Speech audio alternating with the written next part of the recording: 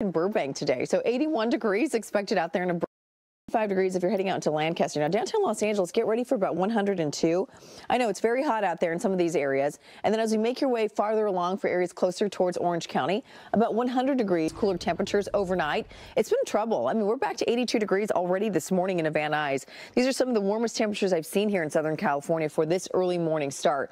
And that's over the course of many years doing the forecast uh, here in Southern California. So again, starting out in the 80s, pretty unusual. We're back to 83 degrees in Ontario, 80 in Ontario. Uh, Uh, along with Anaheim. We're about 80 degrees there, 79 into Riverside, 79 degrees over to Santa Clarita, and 82 degrees in Van Nuys, 86 degrees if you're heading out to Woodland Hills, and about 77 degrees making your way out towards Fullerton. So again, very warm start to the mountains, and 99 in the high deserts, 113 in our low deserts, and again, most of the heat already arriving through this morning right into your afternoon. So try to beat the heat any way you can today. We'll send back. We are going to see temperatures. I mean, there are plenty of temperatures already in the 80s, so it's pretty impressive to get back to 81 degrees for the early morning start. That's the Burbank coverage here, all being pushed out to the Pacific. So, I mean, it is a pretty nice, clear start, although our temperatures are quite warm. There are excessive heat warnings all across Southern California. You're noticing that big magenta all across island, the line fire, Mentone area.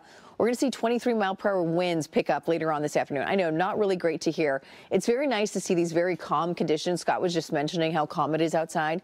But just know that later on this afternoon, those winds are going to get right back up to 20 to 25 miles per hour. That's going to be around 4, 5, 6 o'clock. It's a brief period. We have about two to three hour window of these winds really peaking before they really quiet down by the time we're heading into it looks like 8, 9, 10 o'clock tonight. Expect to see as many 80s tomorrow morning, but this morning we still have them. 82 degrees out there in Van Nuys, Ontario. We're back to 80 degrees out there into Anaheim, 79 in a Riverside, 71 Lancaster, Palmdale, along with air day.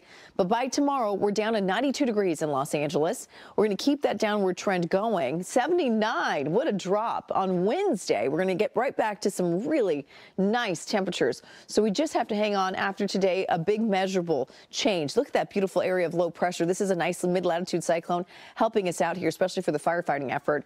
And then on Thursday, now it's back to 76 degrees. Friday, we roll through, and then we're going to see Friday's temperatures also dip a little bit more. This is going to be a great weather. Patches dip down about 82 degrees on your Thursday. John Rachel, we're going to